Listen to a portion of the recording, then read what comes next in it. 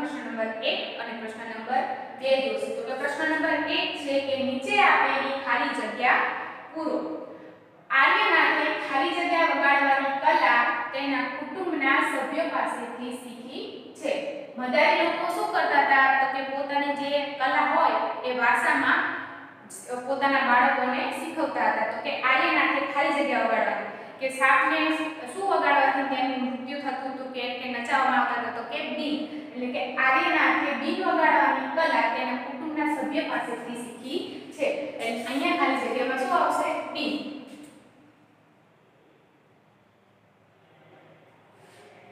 કાલબેલિયાને લોકો ખાલી જગ્યા પણ કહે છે.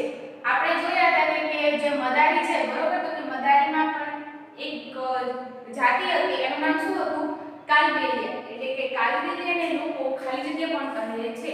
એટલે એને શું કહે છે? મદારી આર્યનાથના દાદાનું નામ ખાલી જગ્યા છે આગળ આપણે પાઠમાંની સમજૂતીમાં જોઈ ગયા હતા કે આર્યનાથના દાદાનું નામ શું હતું તો કે રોશનનાથજી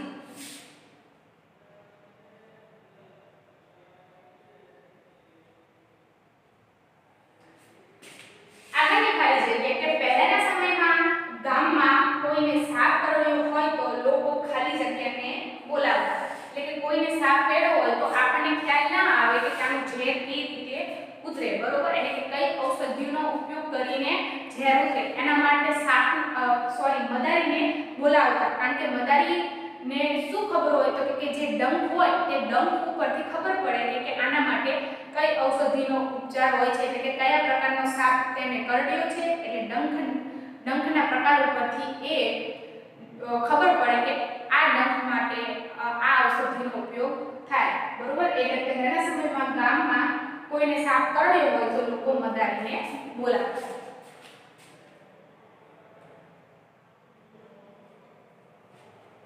ખાલી જગ્યા નૃત્ય સાપના હલનચલન જેવું જ હોય છે તો કે કાલબેલિયા નૃત્ય સાપના હલનચલન જેવું હોય છે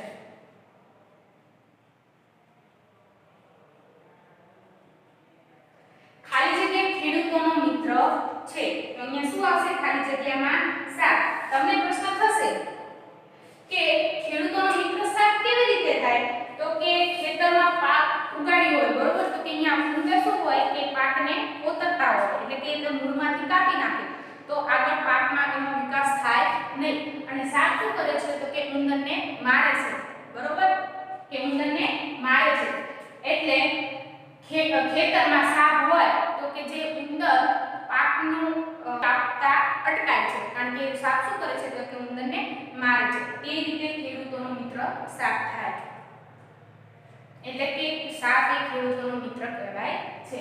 આગળ જોઈએ તો કે ખાલી જગ્યા માછલા પકડીને પોતાનું ગુજરાન ચલાવે છે.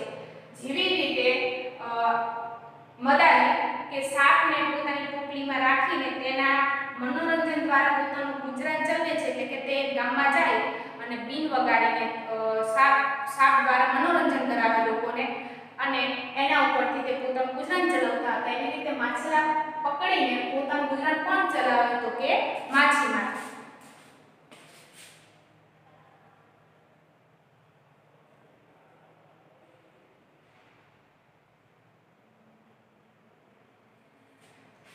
ખાલી જગ્યા છે ખેડૂતો ખેતી સાથે ખાલી જગ્યાનો વ્યવસાય કરે છે.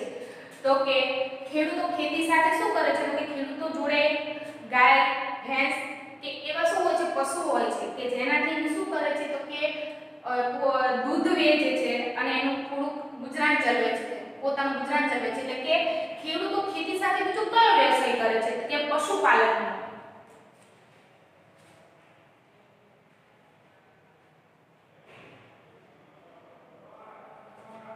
ખેડૂતો પહેલા અ, બળદ અ, બળદ પણ રાખતા હતા કે જેથી શું કરતા હતા કે બળદથી પોતાની ખેતરની અ, ખેડ કરતા હતા પહેલાના જમાનામાં ખેડૂતો જ્યારે એવું ટેકનોલોજી નથી. એ સમયે બળદને પણ પોતાની પાસે રાખતા હતા એટલે કે એનું પાલન કરતા હતા અને એનો ઉપયોગ ખેતરમાં હળ આપવા માટે કરતા હતા.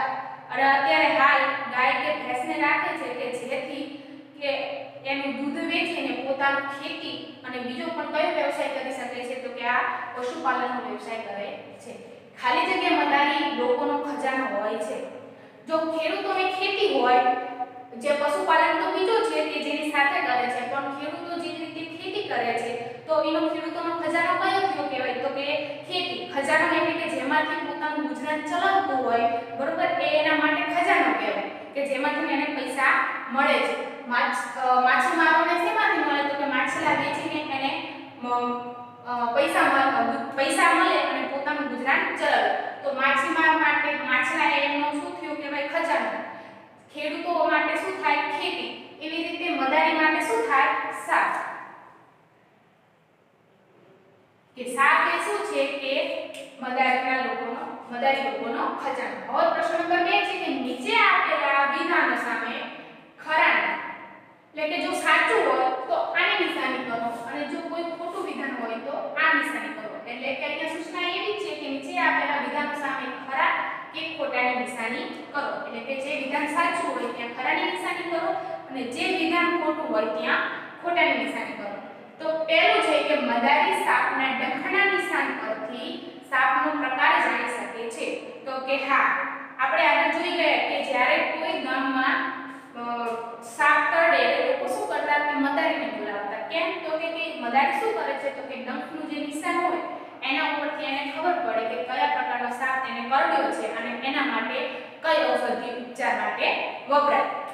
એટલે અહીંયા શું આવશે? નિશાની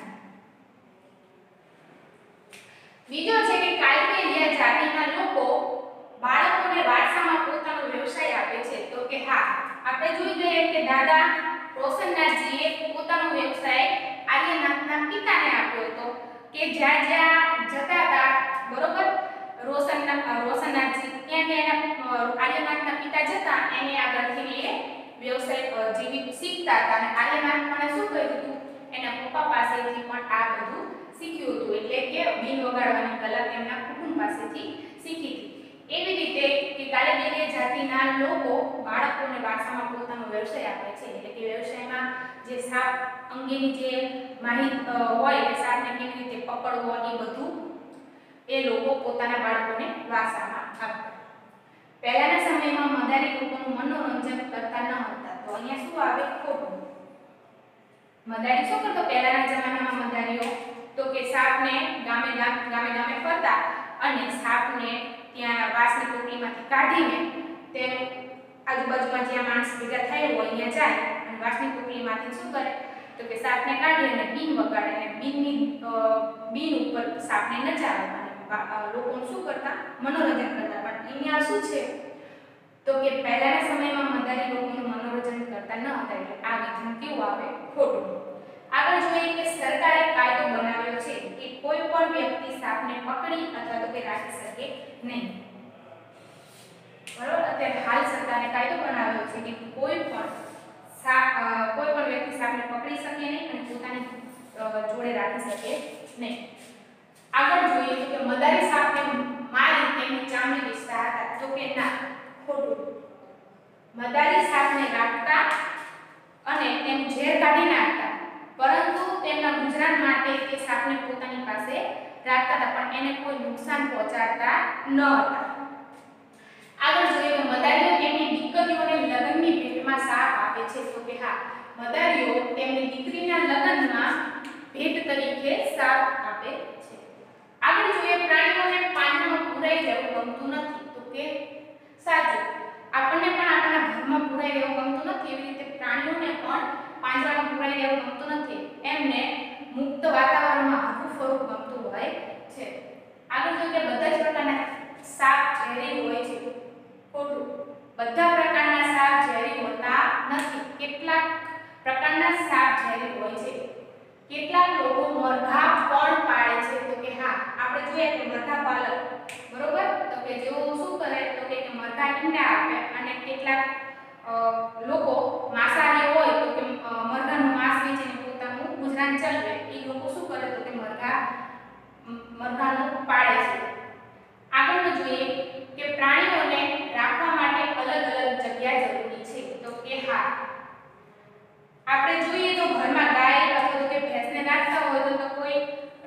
પોતાના કોળ કહેવાય, અથવા તો કે બકરાને જે રાખે એને વાડો કહેવાય. એટલે કે પ્રાણીઓને રાખવા માટે પણ અલગ જગ્યા હોય છે કે જેને અલગ જગ્યામાં રાખવામાં આવે છે. એટલે માટે તેને પ્રાણીઓને રાખવા માટે અલગ જગ્યાની જરૂર પડે છે.